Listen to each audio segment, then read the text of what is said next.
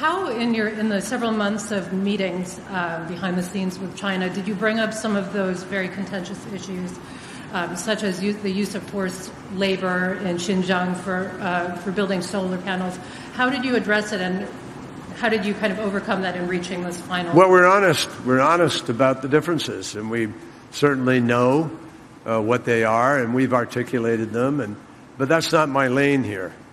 That's uh, my job is to be the climate guy